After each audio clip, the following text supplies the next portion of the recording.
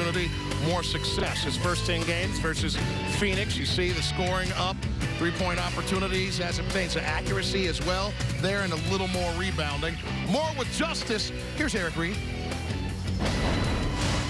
with Justise Winslow. Boy, you look like you were uh, back at Duke against the Phoenix Suns the other night. Very comfortable, very aggressive, very efficient.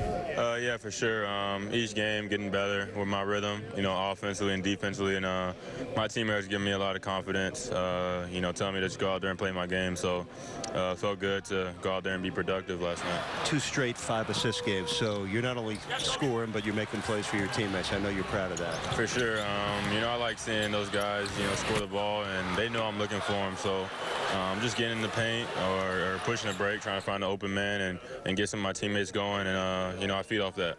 You started three games in a row, but against Phoenix, you were at the power forward spot, the four spot. What was different about it? You were certainly affected, but what was different about it? Um, I guess the matchup and understanding, you know, uh, at that position, you know, what I'm being called to do. Um, that's the only really thing. Um, it's just the, the wing or the four, the, the point guard position, just, just knowing where I'm supposed to be each play um, knowing you know my responsibility at that position, but you know still still being myself at all those positions and, and, and playing to my uh, strengths. You enjoy being a starter? Do you like the role?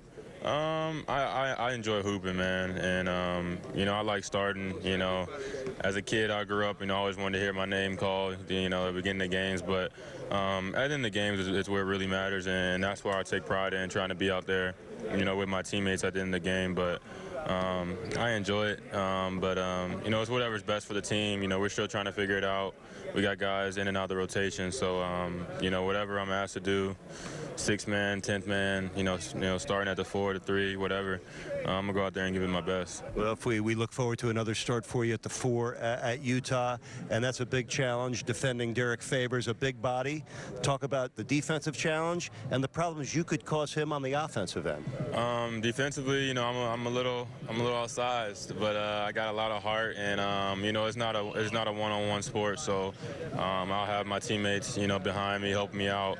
Um, you know, it won't be easy cover, but you know, I'm up for the challenge, and um, offensively, just just trying to you know make him feel my, my speed, my athleticism, um, and you know, if they they sagged and being able to confidently knock down the shots, or you know, get out in transition and, and run them to death. So um, it should be a fun matchup, but you know, most importantly, we're trying to you know end this road trip plus 500, and then this is the next step. So as a team, we got to be ready mentally uh, and physically to go out there and get the win. Last question for you. Your take, uh, a two and two road trip and a season that is starting to come into shape. How do you feel where the team is at right now? Um, you know, obviously we feel we had some games we let slip away, but can't get them back. Um, we got to use those as learning tools. Um, but we're, we're, definitely going in the right direction. You know, our, our defense is trending.